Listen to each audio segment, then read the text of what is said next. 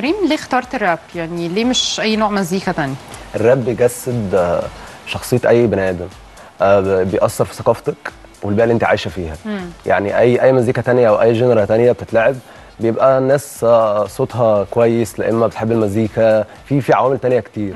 لكن الراب هو شخصك يعني مش أي حد يبقى رابر بس أي حد ممكن يبقى مغني. وأنت اللي بتكتب آه طبعا. بالكلمات؟ آه أي رابر لازم يكون بيكتب ال lyrics بتاعته. مظبوط.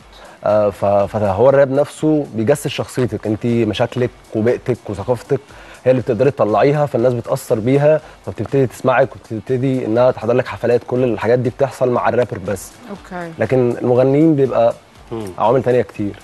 والا ما كناش اتاثرنا بميكي يعني طبعاً. آه، ميكي يمكن يعني في مصر هنا حببنا في الراب بشكل كبير جدا وأكتر واحد كمان عبر عن المنطقة بتاعته أكيد. وعبر عن المناطق التانية برضو يعني أكيد، آه، أكيد. بشكل كبير جدا إن أنت إزاي بتنتمي للمكان اللي أنت فيه.